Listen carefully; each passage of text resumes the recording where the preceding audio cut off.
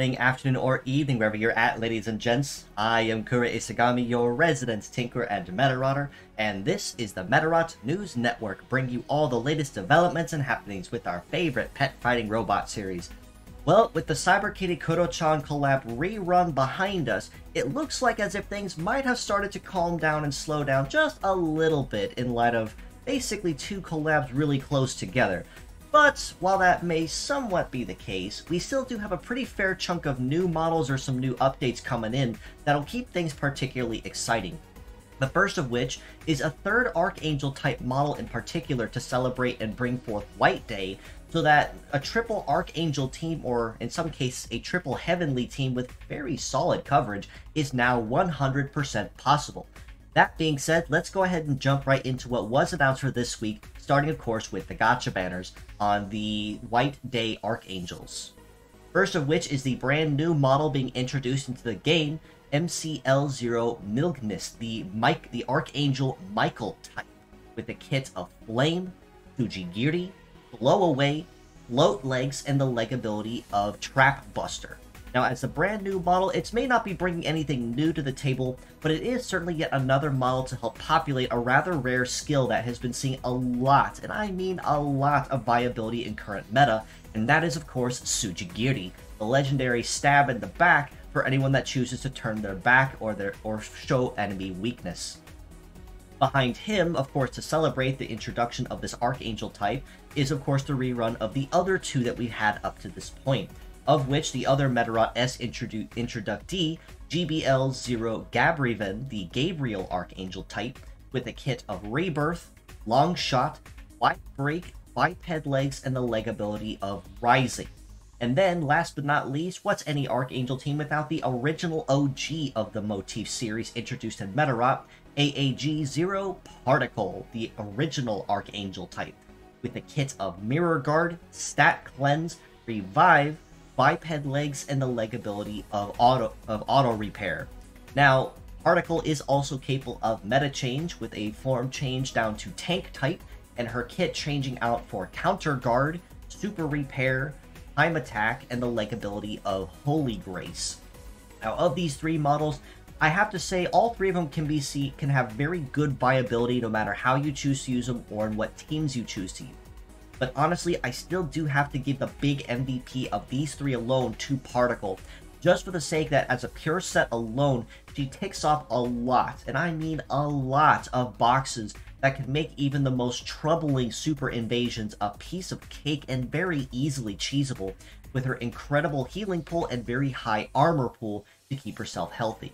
Now, that's not to say that Milgnus or Gabrivet are not are bad or not worth using. Absolutely not. They are both very solid models in what they both cover. But in terms of priority, I would have to give that to Particle as the leading bot to go after. Now, as if this wasn't enough, we actually have two other models that are joining us, one of which is a new model, another which is a rerun, and that is, of course, the other Samurai type from Medarot 8, SAM01M Protomusha the counterpart to, to Samurai female type Tomoe, with the kit of Reckless, Double Beam Sword, Head Legs, and the leg ability of Shura. And since this one also is a newcomer to Medarot 8 with moderately decent coverage in the story, of course with that is another model that had a really high importance in Medarot 8, that is FDR0 Greed, the Bone Dragon type, with a kit of Laser, Double Sword, biped legs, and the leg ability of Carnage. Now, even incorporating these two models, I do have to say the gacha priority should stay moderately the same, with Particle being the really big go-to model to, to shoot for, just for the sake of overall coverage and what she brings to the field for off or non-combative support. Behind her, I would have to give Milgnus the next big go-to model for the very solid skills that he possesses, and of course, float legs you can generally never ever go wrong with using. Behind him, I'd have to put Greed as a nice third for his very solid all-round coverage, especially given that he also is capable of tuning up. Behind him, Gabriven, the Gabriel Archangel type, and last but not least, Proto Musha. Now that's not to say the last three models or two models are not bad, but the other three just offer a whole lot more viability and versatility, especially when it comes to being able to keep, to keep up with current competitive meta. With the Fierce battles we have this week, and we're kind of maintaining a trend that we started last week at the start of March with uh, lesser seen uh, Fierce battle bots to be collected and made use of. This week, we're seeing a rerun of SAM-0 Samurai, the original Samurai type from Medarot 1, with a kit of Full Charge, Double Beam Sword, Biped Legs, and the leg ability of Endurance. Behind him, we have another Medarot 1 returnee, TOT-0 Yellow Turtle, with the kits of Heater, Double Laser, Tank Legs, and the leg ability of Bullet Rain. And then, last but not least, a model not from Medarot 1, but a prototype all the same, WEA-03P2 Chisaku 2, with the kit of Charge Buster, Breast, Power Rifle, Tank Legs, and the leg ability of Trap Buster. Now, like I mentioned, all three of these models we actually have not seen in Fierce battles for quite some time, so it is very good to see these models get cycled again. And with that being said, I would have to give the big MVP of the week to Samurai for a multitude of reasons, but primarily for the fact you really can't ever say no to a free full charge skill, even if it is considered a heavy part and moderately expensive to raise. That will certainly pay itself off over time if you can make the most of it. And of course, it is a very well-rounded model together as well with very good synergy with its parts. Yellow Turtle and Chisaku 2 are also both very solid as well for what they cover and what they offer. And if you are just starting out the game, basically a free power rifle that's farmable right from square one is something you generally can't ever go wrong with either, because it's so readily usable right out of the box. Now, with the addition and the and the celebration of White Day, we are getting two new SR Medarotters to highlight the event as well. Uh, also, uh, Medarotters that came from Medarot 8, Laurel and Sage, both of which we're getting not just super rare versions of them, but we are also getting rare rank versions of them to be permanently added to the Medarotter pool. Highlighting specifically, the super rare version of Sage will offer you a 10% damage reduction when activated, and an additional 10% if you are using Laser. The rare version of Sage will simply give you a cooldown boost when anytime you are using Sword by up to 300 bonus points. Laurel, on the other hand, as a super rare Medarotter, will offer you a, a boost to your success relative to 70% of your current charge. And if you are using Beam, you will get an additional 60% on top of that.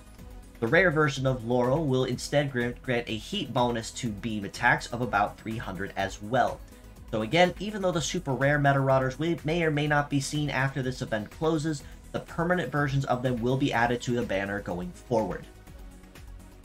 Now, in topic of light of White Day as well, we are also getting the Marathon Survival event to come back around again for another run. So this is always a very good opportunity to pick up on any extra resources that you're missing or are in need of, especially when it comes to power-up chips and rubies. Now, for those that are unaware or don't quite know what, what Marathon Survival is, the rules are very simple. When going into a round, upon victory, the 12 parts you used to cross your 3 bots will be added to a banned list, which means you are not allowed to pick those parts again. And in the next round, you must pick an entirely new set of parts and win with those. And upon victory, those parts also will be added to your banned list. And your banned list will essentially keep growing until you can successfully reach a checkpoint at the end of the stage of which the banned list is refreshed and all parts are now unlocked, ready to be used again. So this is primarily a test of endurance as well as a check to make sure that you've been raising parts other than what you main. So it generally never hurts to raise stuff up to 3 star, even if just for the sake of having it ready.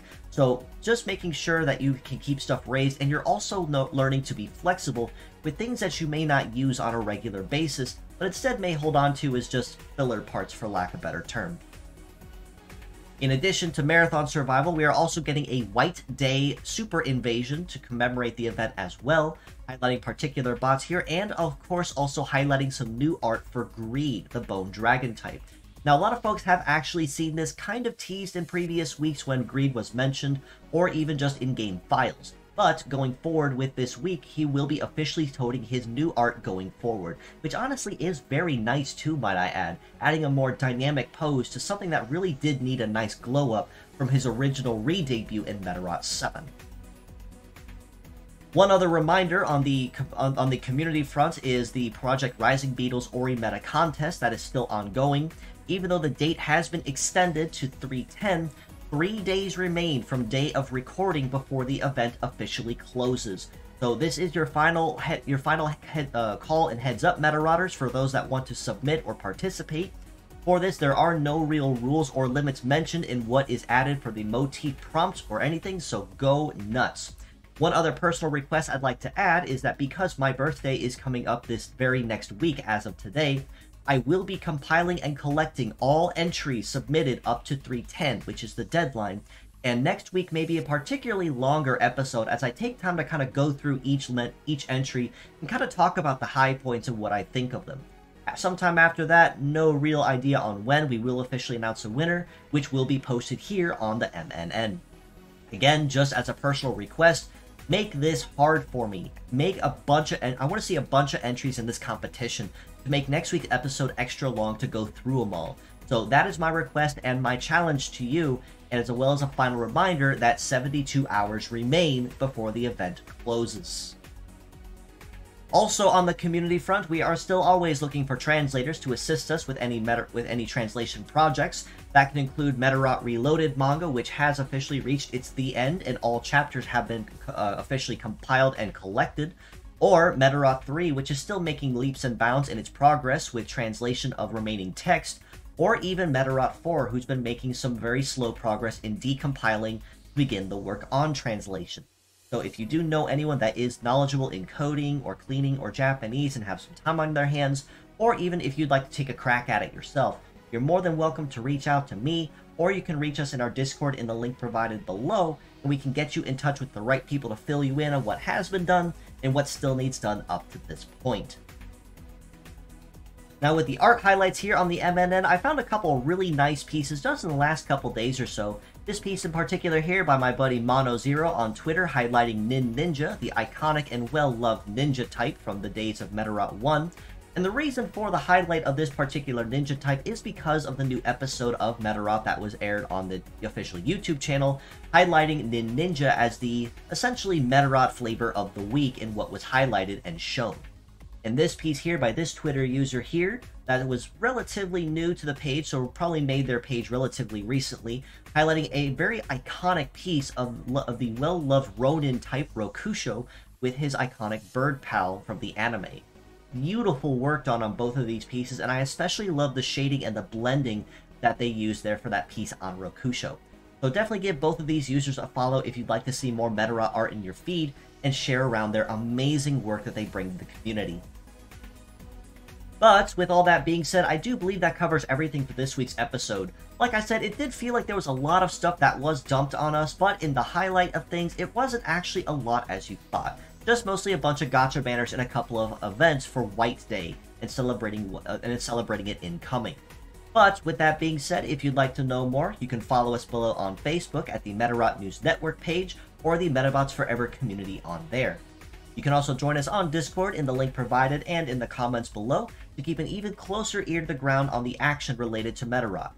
That can include any new merchandise, translation updates, my weekly episodes, fan art, you name it, that Discord's the first place you'll see it before it goes anywhere else. You can also reach out to me personally on Twitter at ItsuGamiKura, so if you have any questions or feedback or comments, or would just like to stop by and say hello, I leave my DMs open purposely for this very reason. And if you are a streamer or VTuber and would like to collab or even guest host with me here on the MNN, or would love to have me on your channel stop in for a visit, I would absolutely love to coordinate with you. So again, feel free to stop on in, say hello, and drop in my DMs, and I'll get back to you when I can.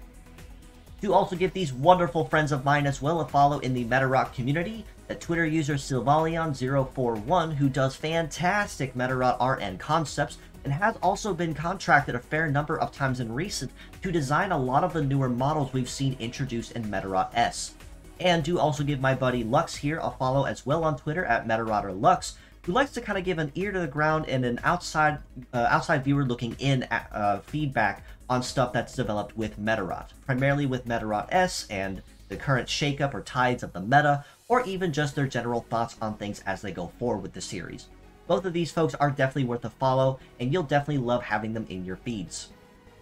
But with all that being said, I do appreciate you all for stopping by just as you always have, and until next time, this is your host, Kura Isagami of the Medarot News Network, signing out.